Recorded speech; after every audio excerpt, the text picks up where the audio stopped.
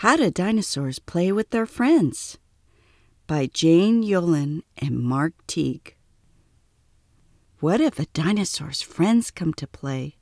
Does he mope? Does he pout if he can't get his way? Does he hide all his dump trucks, refusing to share?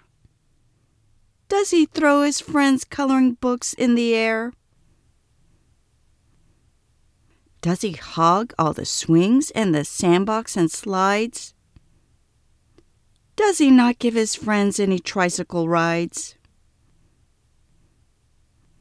No, a dinosaur doesn't. He knows how to play. He treats everyone in the friendliest way. He shares all his toys and gives turns on his bike. His friends get first choice for the games that they like.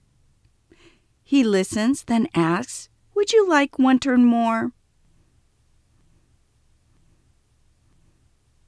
Good friend, good friend, little dinosaur.